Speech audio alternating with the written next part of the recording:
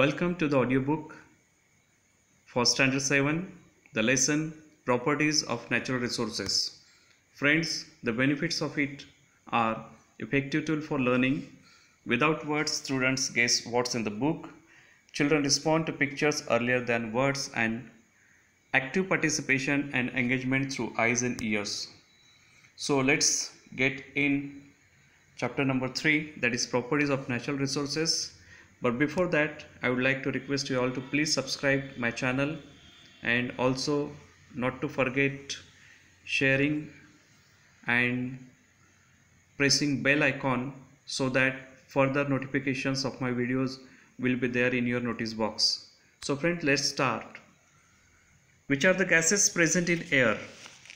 Why is air called a homogeneous mixture what are the uses of the various gases in air? Properties of air. Air is all around us. We cannot see it. Yet we feel the presence of air. When we inhale, air is taken in through the nose. If we blow on our hand through our lips, we can feel the air. Take a stick from a broom or a paper or plastic straw Tie a thread at its center and hang it so that it remains horizontal. Tie two rubber balloons of the same size at the two ends of the stick. See to it that the stick remains horizontal. Now remove the balloon. Inflate it. Tie it again at its original position.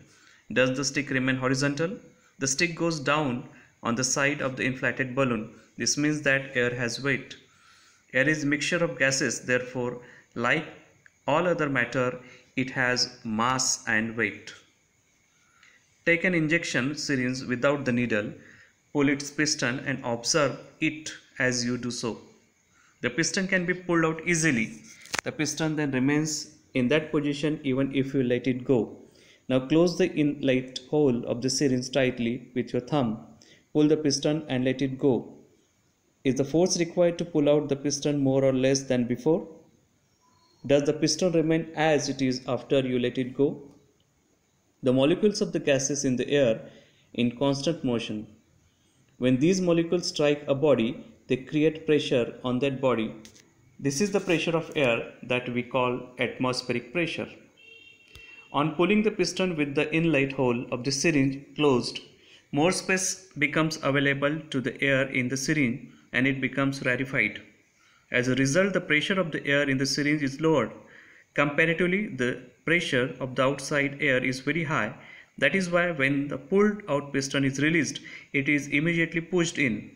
If this experiment is repeated, holding the syringe in different positions like vertical, horizontal or inclined, the piston is found to go in to the same extent in all cases. From this, we can infer that atmospheric pressure is the same in all the directions. Do you know? Under ordinary conditions, atmospheric pressure at the sea level is about 1 lakh 1400 newtons per square meter. It can be measured with the help of a barometer. As we go higher above the sea level, atmospheric pressure decreases. A little fun. Place a piece of cardboard on the mouth of a glass filled completely with water. Holding the cardboard firmly in place with one hand, Invert the glass quickly. Take your hand away from the cardboard. What do you see? Great scientist. In 1726, the Swedish scientist Daniel Bernoulli put forth the important principle that the pressure of air decreases when its velocity increases, while the pressure of the air increases when its velocity decreases. If a body is moving through air the air pressure decreases perpendicular to the direction of the motion and then the air in its surroundings flows rapidly from higher pressure to the lower pressure. Observe and discuss. Take some water in a plastic cup and hold a straw upright in it. Hold a small piece of another straw near the upper end of the first straw and perpendicular to that straw. Blow hard through the small piece of straw. You will see fountain of water. Why, this, why did this happen? On blowing through the straw, the air at its open end is pushed away and hence the pressure of the air at the opening goes down. As the pressure of the air near the upper end of the erect straw becomes less than atmospheric pressure, the water in the cup is pushed from the water. The pressure is higher to where it is lower, that is, in the upward direction, and the water comes out in the form of a fountain. The more forcefully you blow, the higher will be the fountain. The straw fountain works on Bernoulli's principle. What is the effect of increased temperature on the pressure of air? When there exists a difference in the air pressure at two different places, the air starts flowing from the place of higher pressure to the place of lower pressure. At such times, we feel a breeze or a wind blowing. Thus, winds are an effect of the difference in air pressure. You will learn more about this in the lesson called Winds in Geography. Take ice cubes in a glass up to 3 fourths of its height now observe what happens. How did the water droplets appear on the outside of the glass? Due to the ice cubes in the glass, the air surroundings in glass cools down. As the water vapor in this air cools down, it condenses and gets transformed into water. It is this water that collects on the outer surface of the glass. The level of humidity is different in different places. Similarly, the humidity levels also change from time to time during the period of a single day. The level of humidity of the air is determined by its capacity to hold water vapor. During the night or at dawn, when the temperature of air is low, its capacity to hold the vapor is less. At such times, the excess vapor is transformed into water droplets, that is what we call dew. In the afternoon, when the temperature of the air is high, the capacity of the air to hold the moisture also increases then compared to its full capacity to hold water, the proportion of moisture in the air is less and we feel that the air is dry. The proportion of water vapor in the air is high during the monsoons and in coastal areas. As a result, we feel the dampness or humidity. In summer, wet clothes dry quickly, but in the rains, they do not. Why is this so? Dip an uncorked inverted empty bottle in a slanting position into the water in a white container, what do you observe? What change takes place in a balloon on filling air in it? We come to know from the activities above that air has properties like occupying space, having a certain volume, having mass and weight. Air is mixture of very fine particles of some gases, dust, smoke and moisture. When the rays of light fall on these minute particles, the particles spread the light in all directions this natural phenomenon is called scattering of light. Temperature regulation. The earth receives energy from the sun. This energy is reflected by the earth in the form of heat. The constituents of air surrounding the earth such as water vapor, carbon dioxide absorb a part of this heat and give it to the other constituents of air. As a result, the earth's surface remains warm and thereby becomes suitable for the living world on the earth. If there were no air on the earth, the average temperature of the earth's surface would have been very low. Transmission of sound. All the sounds that we hear reach us through the surrounding air. The density of air also changes due to change in its temperature. In winter, the density of the air increases. We can hear the whistle of a distant train clearly early in the morning in winter. Air is useful as a medium for the transmission of sound. Properties of air. What are the states in which water is found? What inference will you draw from the pictures alongside? Water occurs in liquid state under ordinary conditions. Water is fluid substance. Water does not have its own shape but has a volume. It can pass through small holes or seep through very small gaps or cracks. On pouring water in an oil-cladded dish, water does not spread but forms small round drops. Why does this happen? Try this. Take a plastic bottle, more than half full of water. Mark the water level on the bottle. Keep this bottle upright in freezer for making ice. Open the freezer after a couple of hours and observe. You will see that the water has changed into ice. Note the level of the ice. You will find that the ice level is higher than the water level before freezing. What can you infer from this? As water freezes to form ice, it expands and its volume increases. On freezing, how much was the increase in the volume of the water? In what proportion did it increase? Take a bucket of water, draw many different kinds of particles in it, make separate lists of particles which sink in the water and those that float on it. Take some water in a pot and add a few pieces of ice to it. Observe what happens. Why do we see that ice float on water? Ice is lighter than water. When water freezes to form ice, it becomes lighter than the original liquid. When water freezes, that is, when it transforms into the solid state, its volume increases. Therefore, the density of ice is less than that of water. That is why the ice floats on water. Density of water. The interrelation between the volume and the mass of a substance the space occupied by a substance is its volume. The store of matter in a substance is its mass. Density is equal to mass upon volume. Mass is measured in grams and the volume in cubic centimeter. Hence, density is equal to gram per cubic centimeter. Hence, gram per cubic centimeter is the unit of density. If the mass of 1 liter of water is 1 kilogram, then what is the density of water? Anomalous behavior of water. Usually when the temperature of substance is lowered, its density increases as the volume decreases, but water is an exception to this rule. Keep a glass full of water in the freezer for 5 to 10 minutes, then take it out and observe carefully. From which part in the glass does the water first start freezing? The density of water is peculiar. When water at normal temperature starts cooling, its density increases like that of most liquid. However, if its temperature falls below 4 degrees Celsius, its density starts decreasing. This means that the density of water is maximum at 4 degrees Celsius.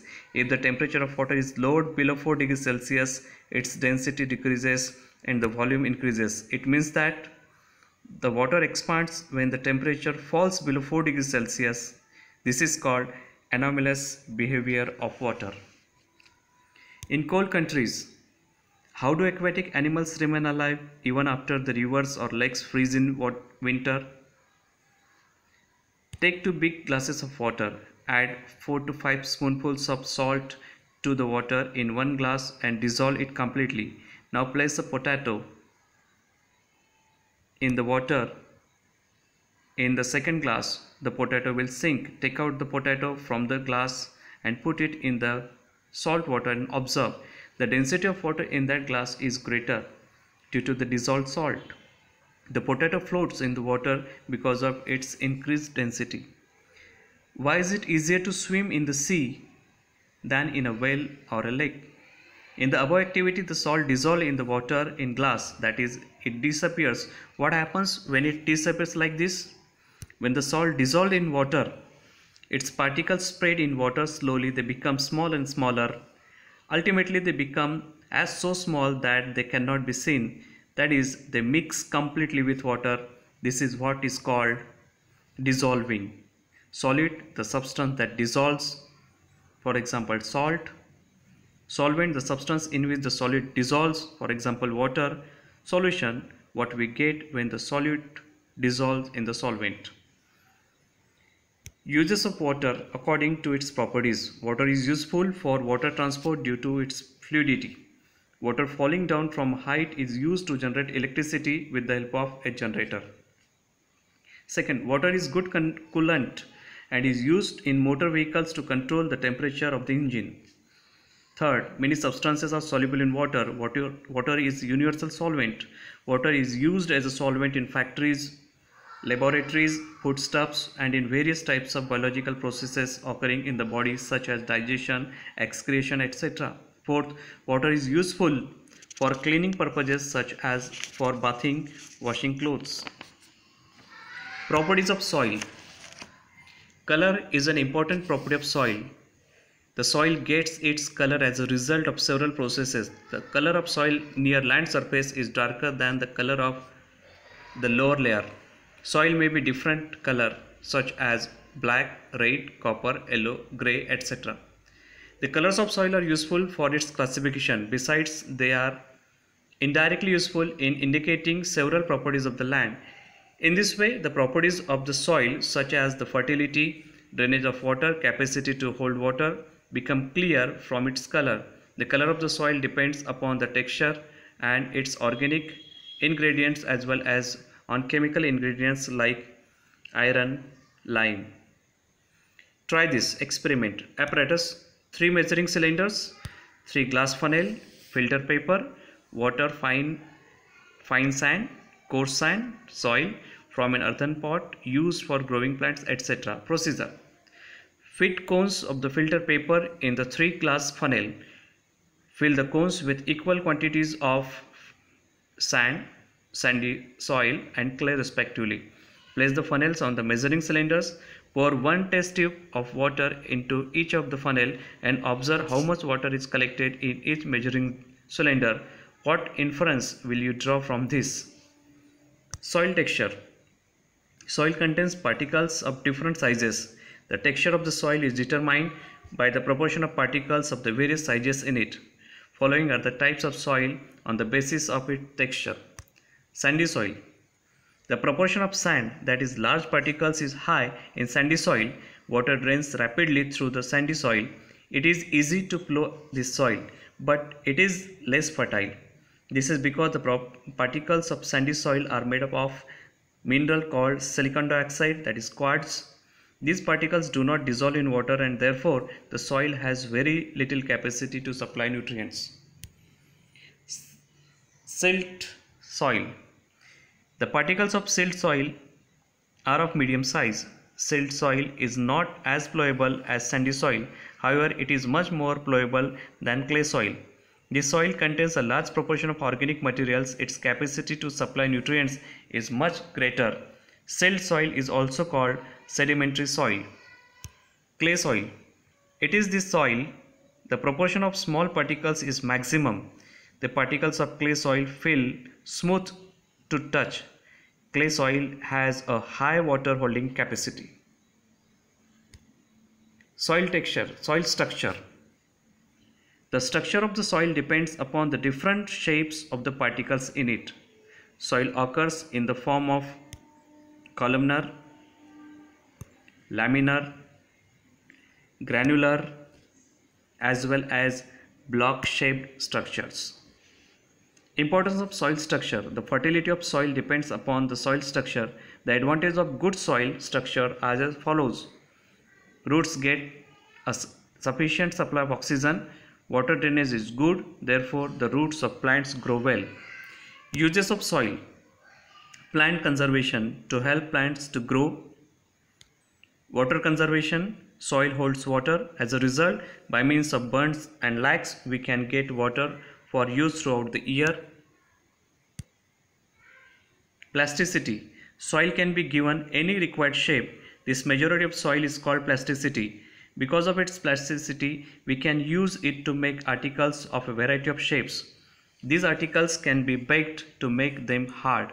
Water drainage, water storage, earthen pot, water earthen lamps, idols, bricks, etc. are articles made from soil.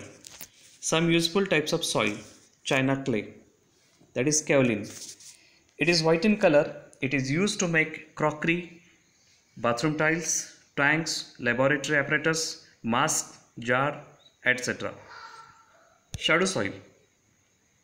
It is whitish in color. It is used to it is used for making statues and idols.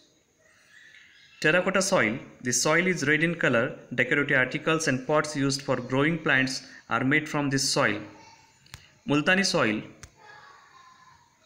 The soil is used in cosmetics. Do you know? China clay is an industrial mineral of the type kaolinite. It is found in China and hence called China clay. Upon heating, the soil acquires a glaze and hardness and therefore is used for making crockery. Soil testing. The proportion of the various ingredients of soil can be determined by soil testing.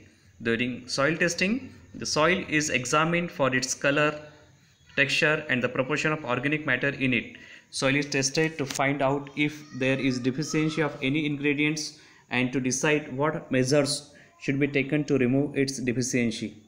The soil sample collected for testing is dried in an open space in the shade for 8 to 10 days. It is then sifted through a sieve. Two tests, namely the pH and the electrical conductivity test, are particularly useful in finding out the characteristics of soil. You can determine the fertility of the soil in your fields with the help of different tests. Great scientist, the Danish scientist Sorensen put forth the concept of pH based on the concentration of hydrogen ions. To determine the pH of the soil, a mixture of water and the soil in the proportion 1 is to 2 is taken and tested using several indicators. Accordingly, soil may be found to be one of the following three types. Acidic soil, pH less than 6.5. Neutral soil, pH 6.5 to 7.5. Alkaline soil, pH higher than 7.5. Causes of diminished soil fertility, soil pH less than 6 or higher than 8. Low proportion of organic matter, no proper drainage of water, repeated cultivation of the same crop, continuous use of saline water, excessive use of chemical fertilizers and pesticides. World Soil Day 5th September sorry 5th December to make efforts for conservation of soil. Always remember soil texture is disturbed if chemical fertilizers are used excessively and that land becomes unsuitable for sowing. Crops should be rotated in order to maintain the fertility, of the land. For example, the fertility of land increases decreases after a harvesting of wheat. Hence, leguminous crops like peanut, moong, moot, bean, pea, lentil, bengal gram, soybean should be cultivated to restore the fertility of the soil. So, thanks friend, thanks friend for watching this video also for listening. And next audiobook is nutrition in living things. So before to say goodbye again i would like to request you to please subscribe my channel. Also share and like my videos and don't forget to press bell icon for further notifications. Thank you so much friends